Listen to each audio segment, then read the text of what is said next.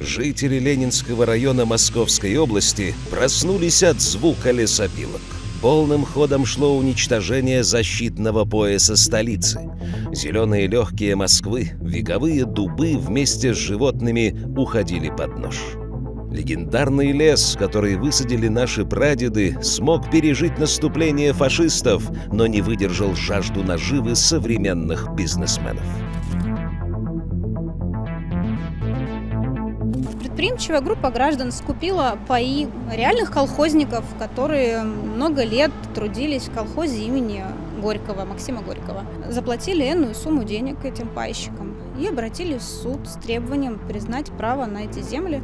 Но вот почему-то эти земли оказались не там, где они должны быть, в Молоковском э, сельском поселении, а через 22 километра в нашем лесу. Фактически суд своим волевым решением просто отдал лес под э, распил. Совершенно верно.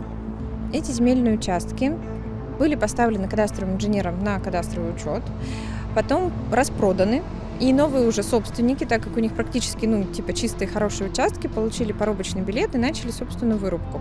Серые схемы вывода земель и сомнительные решения Видновского городского суда лишают простых людей экологически чистого будущего. Наш лес является таким источником свежего воздуха и естественным фильтром, который защищает нас и от выбросов, которые от автомобилей, и от Москоксового завода, и от любых других предприятий, которые, в принципе, отравляют жизнь и легкие наших жителей.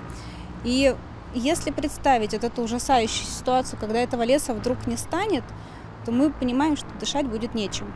Мне просто страшно представить, как это, сколько бездомных будет животных, вот, сколько погибнет под пилами, под деревьями, под бульдозерами, которые будут здесь расчищать все.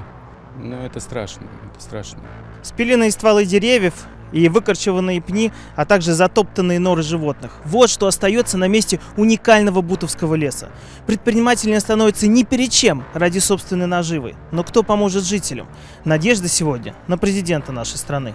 В общей сложности было собрано 6179 подписей, и 25 июня мы их уже направили в администрацию президента. У нас был личный прием, ну, разумеется, не с Владимиром Владимировичем, но а, консультант все эти документы принял. Мы указали на пять грубых нарушений закона и попросили разобраться в сложившейся ситуации и дать указания инстанциям, которые должны работать и защищать нас, граждан.